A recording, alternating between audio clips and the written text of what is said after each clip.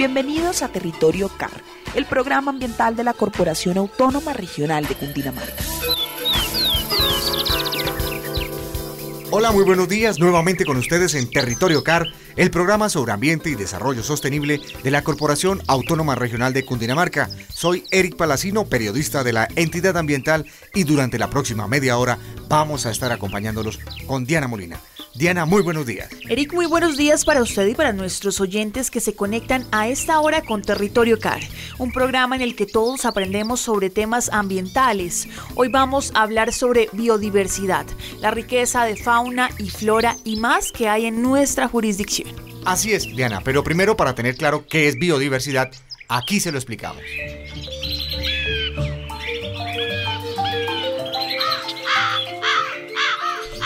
Biodiversidad es vida. Se refiere a la variedad de organismos vivos de cualquier tipo. Comprende la diversidad de plantas, animales, hongos y microorganismos que viven en un espacio determinado. Biodiversidad también incluye los ecosistemas terrestres, marinos y los complejos ecológicos.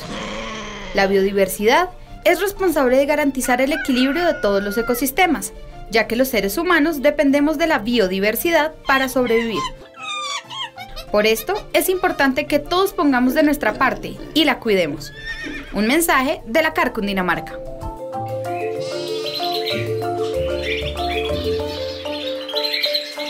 la biodiversidad o la diversidad biológica también es la relación de las especies entre sí con su entorno.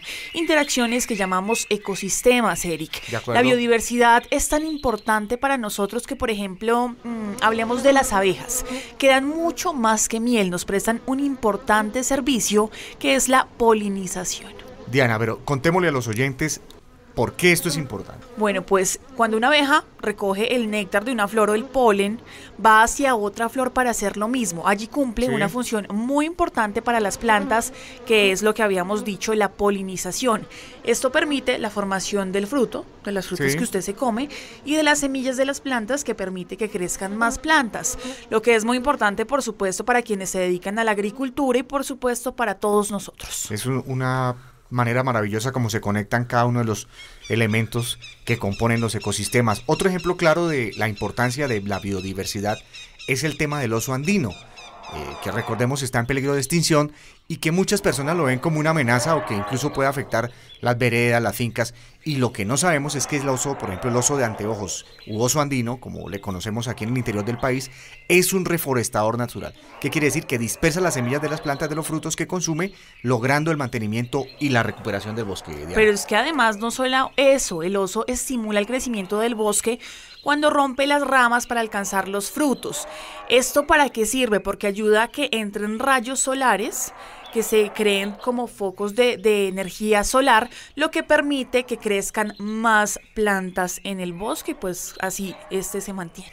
Por, Por eso, eso sí. le llaman el jardinero eso del bosque. te iba a decir, le, le, se encuentra uno en las zonas de Cundinamarca, en las zonas altas que dicen el jardinero del bosque y se imagina que es una persona y los campesinos se refieren precisamente al oso de anteojos. Entonces no hay que verlo como una amenaza. Así es. Otros ejemplos que se los encuentra uno a diario, las lagartijas, las serpientes que controlan plagas y cultivos. Pero Eric y oyentes, esto es muy triste porque la principal amenaza de la biodiversidad, de todo lo que hemos hablado, somos nosotros, los Así humanos. Es, los humanos. ¿Por qué se dice esto, Diana? ¿Por qué se dice que los seres humanos somos los enemigos principales de la biodiversidad? Pues es que mire, por ejemplo, la deforestación, los incendios forestales y los cambios en el clima y en el ecosistema. Esto afecta a la biodiversidad y no solo las especies que habitan en estos lugares, sino también perjudica las relaciones entre ellas, que es muy importante para que esto se mantenga. Y muy crítico en Colombia, pues teniendo en cuenta que es un país de tan alto nivel, digamos un país de un primer lugar en materia de biodiversidad, en diversidad de aves, de orquídeas, es el segundo en diversidad de plantas, en anfibios, en peces dulces y mariposas, y es el tercero en la diversidad de eh, palmas y reptiles. También tenemos el cuarto lugar en diversidad en cuanto a mamíferos. Como vemos, la riqueza de la biodiversidad colombiana es absolutamente importante, pero por el, por el mismo tema de ser tan grande, está en constante riesgo. es un país mega diverso, pues es que mire que aquí en nuestro país hay cerca de 55 mil especies registradas, entre vertebrados, que son los mamíferos, las aves, reptiles, anfibios, invertebrados como mariposas, hormigas, moluscos, abejas, entre otros, además por supuesto de las plantas, nuestras hermosas... Eh, orquídeas y los hongos. Somos envidia de otros países. Por eso cuando se encuentra uno en ciudades, en municipios apartados extranjeros y uno dice, pero ¿qué hace este señor acá en este pueblo olvidado? Y es precisamente porque quieren tener ese encuentro con la naturaleza que en sus países de origen es imposible. Luego de toda esta información vamos a unos mensajes de interés y ya volvemos con más en Territorio Car.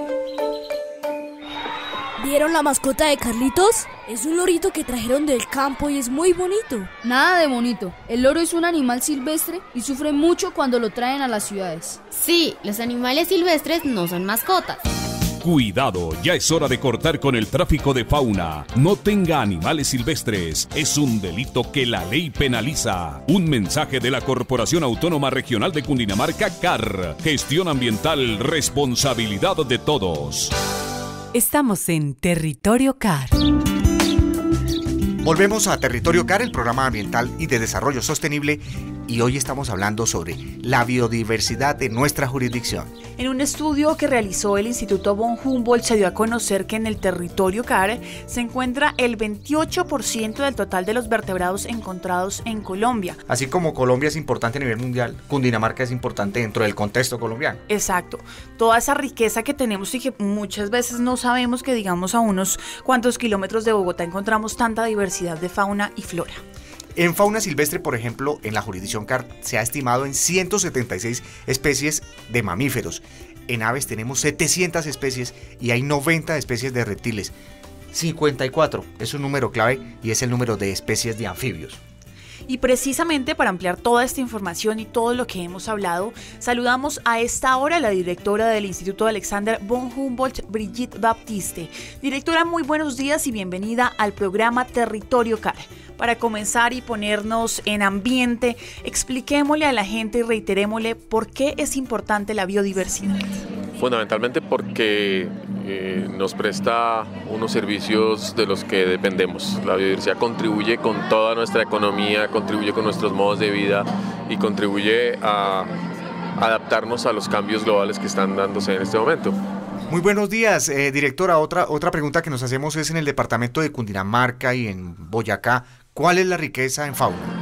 Bueno, Cundinamarca como tiene esa diversidad climática, se extiende desde el río Magdalena hasta los páramos y luego le da la vuelta hacia el llano, aunque yo sé que la región del llano es eh, compartida con otras corporaciones, pero del, páramo hasta el río Magdalena tenemos un gradiente de diversidad climática y de suelos que hace que todos los ecosistemas tengan eh, pues muchas, muchas especies.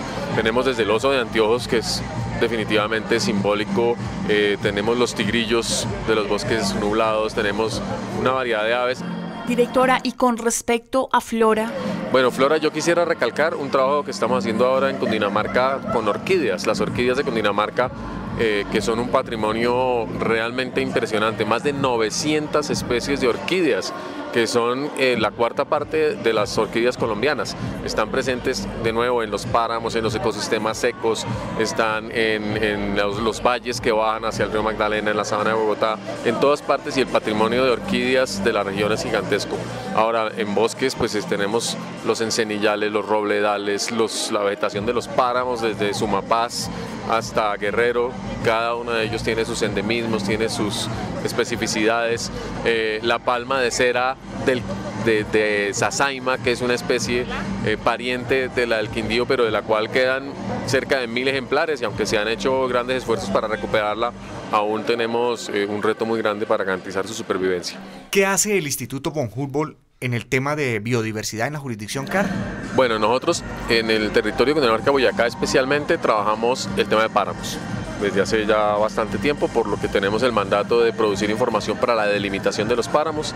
Hemos tenido proyectos desde hace cerca de 10 años eh, en el eh, páramo de Rabanal, en conjunto con las otras dos corporaciones que tienen jurisdicción, en el páramo de Guerrero, con las comunidades locales del páramo de Guerrero, Eh, y en este caso, en el proyecto de Orquídeas de Cundinamarca, que es un proyecto financiado con recursos de ciencia y tecnología del Fondo de Regalías de la Gobernación.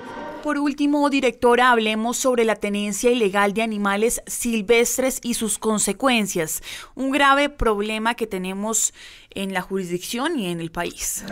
Los animales normalmente tienen relaciones sociales también en, su ecosistema, ellos también tienen, digamos, eh, su familia, tienen eh, sus vínculos y extraerlos del medio los expone a enfermedades, los expone a problemas mm, de bienestar en general. Y aunque uno crea que el animalito está bien, sería mejor disfrutarlo en libertad.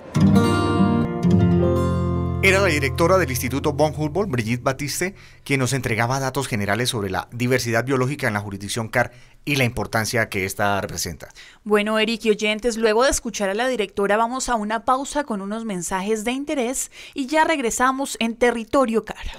Mijo, ahora sí alístese que vamos a ganar plata. Ese cultivo de papa que tengo listo para sacar sí es una verdadera mina de oro. No, papá, con todo respeto, esa siembra está en una zona de páramo y eso no está permitido. Además, estamos acabando con el agua que es el verdadero tesoro. Cuidado, la siembra de papa en zonas de páramo está prohibida por la autoridad ambiental y tiene sanciones. Denuncie estas actividades. Un mensaje de la CAR Cundinamarca. Territorio CAR. Regresamos a esta hora de la mañana a Territorio CAR, el programa sobre medio ambiente. A esta hora nos conectamos con nuestros reporteros regionales de Cundinamarca y Boyacá quienes tienen toda la información sobre lo que está pasando en la jurisdicción CAR. Así es, Diana. Vamos a iniciar aquí en Bogotá. La CAR viene realizando varias reuniones con la comunidad aledaña al relleno sanitario Doña Juana a las cuales el distrito ha venido haciendo presencia. Vamos con Laura Sánchez a esta hora de la mañana quien nos cuenta sobre el objetivo de estos encuentros. Así es, Eric, la CAR ha venido propiciando reuniones en la entidad para tratar problemáticas que surgen a raíz de la operación del relleno de Doña Juana. Laura Duque, directora regional de Bogotá La Calera, nos habla sobre esto. Los últimos jueves de cada mes, la CARA ha propiciado un espacio de reunión con los terceros intervinientes en el, dentro del expediente de licenciamiento a Doña Juana y las entidades eh, que están comprometidas con el cumplimiento a las medidas de compensación impuestas en la licencia. Allí se tratan temas concernientes a la atención sanitaria de la comunidad, la compra de predios para la construcción de proyectos sociales y se rinde informe sobre el manejo técnico del operador del relleno. Gracias Laura y nos vamos para Soacha, donde comunidades trabajan conjuntamente con la alcaldía municipal y la autoridad ambiental por la preservación de los recursos naturales. Vamos a conectarnos con Mayra Tirado, enlace periodístico en este municipio, que nos cuenta en qué consistió la jornada de siembra denominada Minga por los árboles del predio Aguas Vivas. Esta jornada se desarrolló en el marco del proyecto denominado Los Viveros, las Guarderías de los Árboles, que corresponde a un convenio suscrito entre la Corporación Autónoma Regional de Cundinamarca y la Fundación Teatí en el municipio de Soacha. El objetivo del convenio es fortalecer la cultura ambiental de los habitantes del territorio CAR a través de proyectos comunitarios. Por esta razón se realizó la primera jornada de siembra denominada Minga por los árboles del predio Aguas Vivas en la vereda Hungría, lugar en donde nace el río Soacha. Diana Cruz Micán, líder de la Fundación Teati, nos habla un poco sobre el resultado de la jornada. La jornada del día de hoy de sembrar un árbol fue realmente exitosa. Contamos con la participación de más de 200 personas y logramos impactar levemente el ecosistema por la división de estaciones que se hizo. Se plantaron mil árboles de diferentes especies, todas propias de la región, entre ellos el pino romerón, el chilco, el aliso, el arrayán y otras más que tenemos. Esta actividad de siembra de árboles, además de mejorar el entorno, recuperar el bosque y conservar el recurso hídrico, estuvo enmarcada dentro de la conmemoración del Día del Ambiente. Diana y amigos oyentes, con motivo del Día del Humedal Gualí, este es un humedal que está ubicado en la sabana y que es muy importante. La CAR realizó un recorrido de reconocimiento por el ecosistema. Nuestro periodista de la regional Facatativá, Juan Helmut Larraondo, estuvo en la actividad y nos amplía la información. Buenos días, Eric y Diana. El pasado 5 de junio, la alcaldía municipal de Funza, en cumplimiento del acuerdo que declaró esa fecha como el Día del Humedal Gualí, se realizó un recorrido por gran parte de ese cuerpo de agua, con la participación activa de la Corporación Autónoma Regional de Cundinamarca, CAR, instituciones educativas cuyos estudiantes hicieron el recorrido, defensa civil y comunidad en general. Al término de la jornada, Andrea Acosta, secretaria de Desarrollo Económico y Ambiental de FUNSA, expresó. Pues durante el recorrido participaron bueno, los colegios, la CAR, el Consejo Municipal, eh, la Administración Municipal, los bomberos, la policía, la defensa civil y eh, fue un ejercicio, digamos, como de, de, ver realmente el estado de nuestra humedal. Que si bien tenemos una fuente hídrica que tenemos que proteger, también tenemos que ser conscientes que está deteriorada en algunos sectores y que todavía tenemos población que no eh, respeta como tal el humedal. Entonces, yo creo que la conclusión es esa, es cómo entramos a concientizar a la gente y cómo empezamos ya a, realmente a proteger nuestro recurso hídrico. A pesar de los impactos de industrialización del sector y falta de conciencia ciudadana, el humedal Gualí se niega a morir. Muchas gracias a nuestros reporteros regionales quienes se encuentran en los diferentes municipios de la jurisdicción CAR de Cundinamarca, que recordemos comprenden 98 municipios del departamento de Cundinamarca y 6 de Boyacá. Municipios donde la sintonía es total con territorio CAR, eh, Diana. En este punto y hora vamos a hacer una pausa para conocer unos mensajes de interés y ya regresamos. Laudato si, mio dolcissimo Signore. Agua limpia, sí. Aire puro, sí. Animales libres, sí. Bosques sanos, sí. Laudato sí. Una casa común, un solo planeta. Porque la vida es sagrada, reconcíliate con la naturaleza. Un mensaje de la CAR Cundinamarca.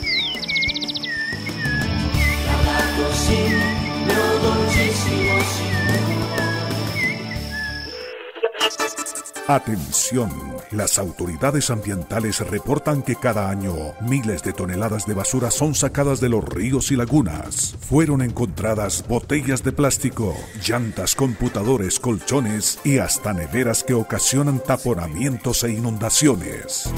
Los ríos no son basureros, sino puentes de vida. Denuncie vertimientos ilegales. Un mensaje de la Corporación Autónoma Regional de Cundinamarca, CAR.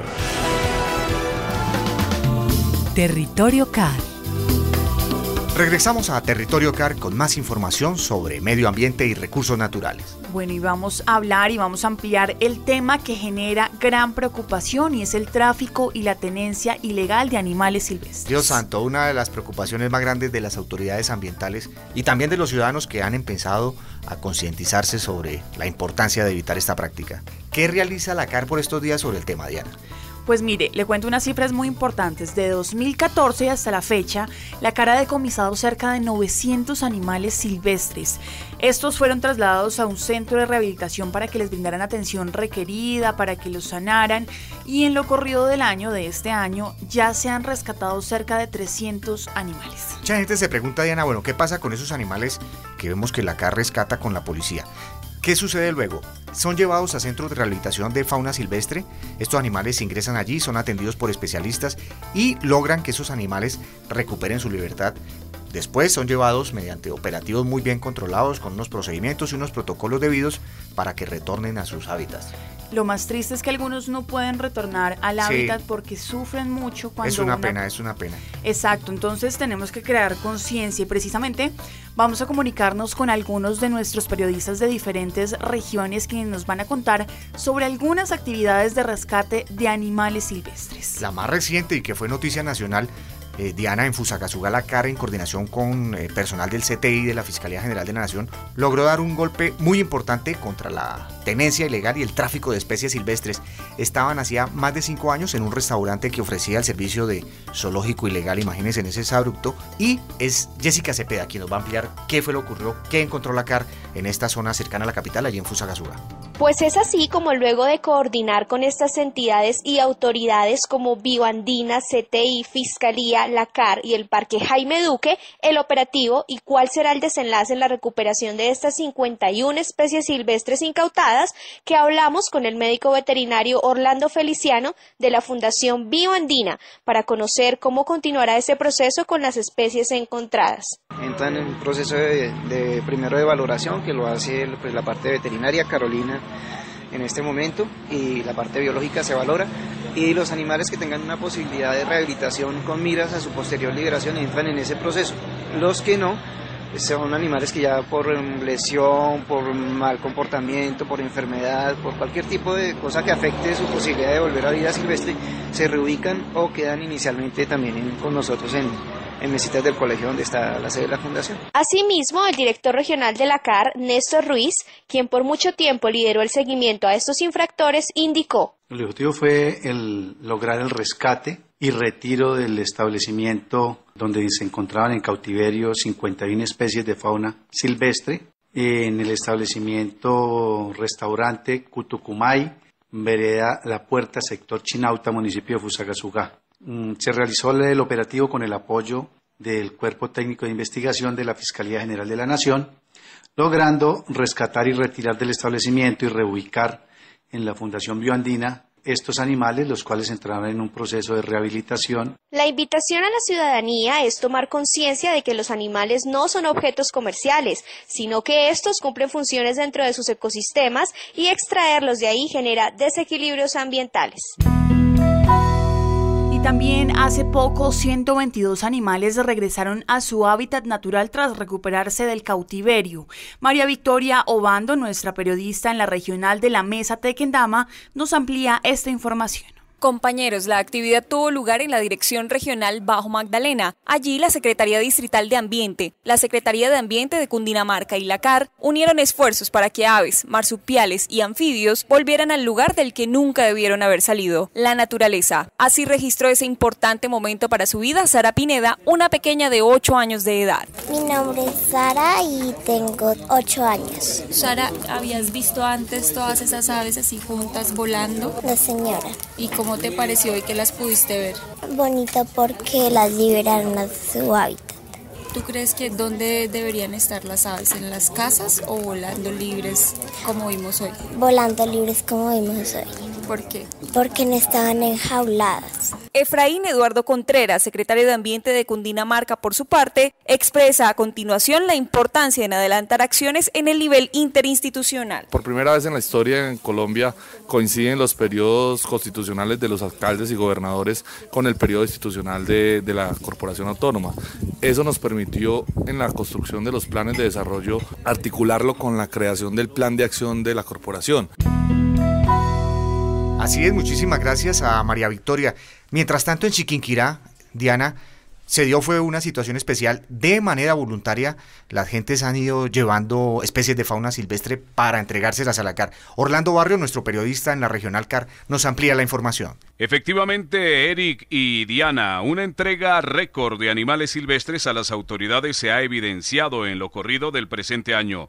Particularmente a la CAR, varios ejemplares han sido llevados de manera voluntaria por parte de la comunidad, como lo expresa el funcionario de la corporación, Fabio Peñaranda. Gracias al trabajo decidido de la Policía Nacional en conjunto con las campañas propias de la corporación, se ha dado una entrega récord en estos primeros eh, cinco meses del año, en el cual trajimos, tuvimos la la buena fortuna de que las personas conscientes han entregado aproximadamente 10 animales, lo que no había sucedido en un, en un tiempo como estos. Hemos tenido animales muy diversos e inclusive que no habíamos recibido antes, como se llaman los loros frente azules, un mono cariblanco, eh, los osos perezosos, que se trabajó como un rescate, efectivamente venía de la selva. La CAR reitera el llamado a la ciudadanía para que atienda de manera positiva a esta serie de iniciativas y campañas. Territorio CAR. Bueno, muchas gracias a nuestros periodistas por esta oportuna información. Y para hablar sobre este tema y ampliarlo, saludamos al director de Evaluación, Seguimiento y Control Ambiental de la CAR Cundinamarca, el señor Carlos Bello. Así es, director, muy buenos días y bienvenido al programa Territorio CAR. ¿Por qué es ilegal tener animales silvestres en las casas? Bueno, ahí básicamente hay dos escenarios. Uno, que definitivamente la opinión pública debe entender que ningún animal bajo ninguna eh, situación debe estar en cautiverio. Eso es una premisa que es importante que la opinión pública conozca porque las especies silvestres deben estar en su hábitat natural. Eventualmente cuando exista una especie que esté, digamos, improntada. Improntada quiere decir que ya no pueda valerse por sí sola, se dan algunas autorizaciones. ¿Es un delito tener animales silvestres en cautiverio? Totalmente es un delito, por eso la Fiscalía General de la Nación eh, va a imputar cargos y definitivamente esto pueda llegar hasta a dar cárcel. Finalmente, doctor Bello, hagámosle un llamado a la gente para que denuncie la tenencia ilegal de estos animales silvestres.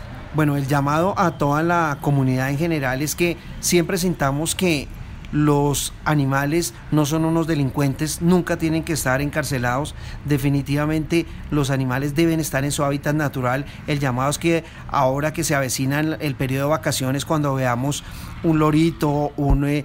Un mico, cualquier animal de cualquier especie, ese debe estar en su hábitat natural. Nunca van a estar en nuestra casa como se sienten en la casa de ellos. Definitivamente ese es el llamado más importante porque eso, eh, digamos que haría mucho más ligero el ejercicio que nosotros tenemos que hacer como autoridad ambiental, porque definitivamente quien tenga una especie eh, cualquiera eh, de la fauna silvestre, inclusive aquí tenían en, en, vía de extinción, pues debe ser incautada y entregada nuevamente al hábitat natural.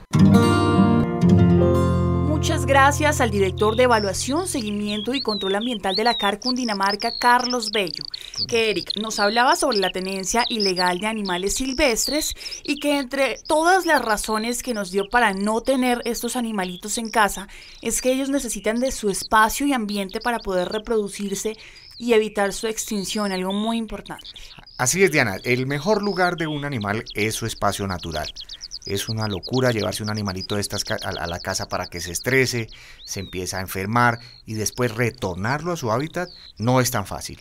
Recordemos que es un delito contemplado en la normatividad ambiental. Un dato muy importante, en lo corrido del año, ya la CAR ha liberado más de 170 animales silvestres luego de que cumplieran, por supuesto, el proceso de rehabilitación. Esa cifra de 170 animales es una cifra muy elevada. Ya quisiéramos que fuera cero esa cifra y que no tuviéramos que rescatar ni liberar ningún animal porque todos estén en su medio ambiente. La mejor forma de verlos es en un arbolito, en su sitio. Son especies que, sobre las cuales no hay que tener contacto, evitemos invadirles sus espacios. Exacto, pero bueno, llegamos al final de nuestro programa. Recuerden que ustedes pueden comunicarse con nosotros a través de las redes sociales. Nos encuentran en Facebook, en YouTube, Periscope y Twitter como Car Cundinamarca. También pueden escribirnos al correo comunicaciones@car.gov.co. Recuerden amigos oyentes que próximamente estaremos realizando el programa con ustedes desde sus municipios. La idea es que nos integremos en el programa y que Territorio Car pase a ser de los oyentes. Recuerde, Territorio Car estará próximamente en los municipios de Cundinamarca y Boyacá. Esperamos que este programa haya sido de gran utilidad y recuerden seguir ahorrando agua y energía. ¡Feliz día!